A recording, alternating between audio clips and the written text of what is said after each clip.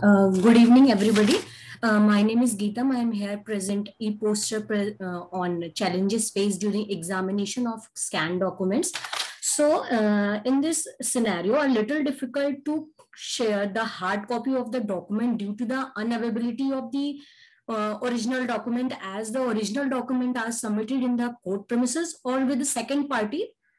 So, examiner can examine to signature, handwriting, fing fingerprint, uh, etc. from the scan documents.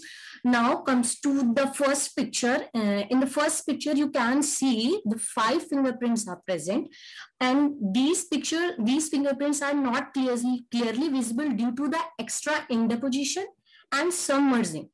So examiner cannot मतलब eh, means eh, cannot observe the eh, ridge characteristic or pattern area. now now coming to the next picture.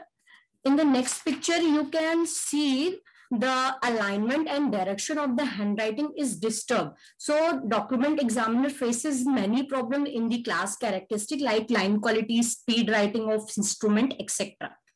In the third picture, uh, which is bearing a fingerprint, is not clearly is not clearly visible. So here the examiner can determine the so examiner cannot determine the authenticity of the uh, fingerprint either it is uh, genuine or uh, forged. Now in the fourth picture, uh, this image uh, this image is distorted and blurred. So uh, examiner cannot observe uh, uh, the particular thing.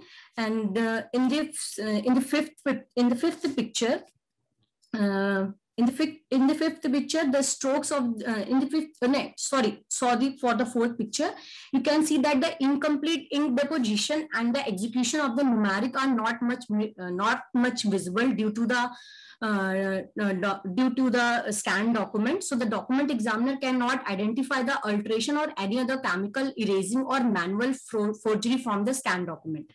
In the fifth picture, the quality of strokes of the uh, of the signature and handwriting is not visible. Therefore, the line quality of letter position and location of the pen lifts, the skill of the handwriting, slope and slant can differ from the scan document with respect to the original document.